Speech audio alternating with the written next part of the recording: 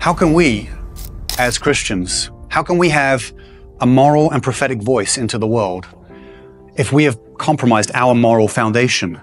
At the time in which we should speak the truth, as we should say to the world, this is wrong, this is immoral, this is evil. We're the ones that are supposed to do that, right?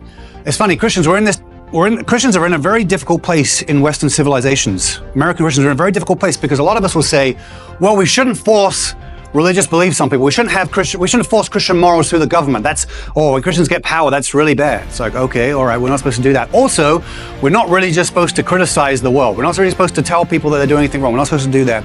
And then that, that trickles down to in church. Well, you're not really supposed to in church treat, you know, preach these things either. That's, that's bad too. They're just going to offend people. Won't they just offend people? People are offended. Some people are offended. Maybe you, maybe you hate what I'm saying right now. Maybe you hate me like Herodias hates John the Baptizer. Just don't behead me. That would be nice. I like to keep my head. The church's job and the job of pastors, the job of leaders in churches, is not just to be moral ourselves. It's not just to teach the church to be moral. It's to be a moral voice to the whole world. Where else does the world understand what is right and wrong other than by what God has revealed to us in His Word? And we are the people of the book. The world's not the people of the book. Those in power oftentimes are not the people of the book.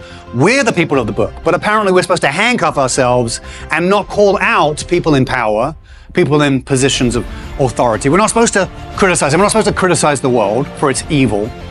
But you see, when we do that, those whom are coming alive in God, those in the world who actually have a spiritual belief, who want to seek out God, how can they even respect us when we don't even believe our own truth? We won't even have our own moral foundation. And when we, when we destroy our own personal moral foundations and we change what God's word says and we ignore what God's word says, how can we speak up and say, this thing that the world is doing is evil and wrong? We have no authority. We've destroyed our authority if we do that.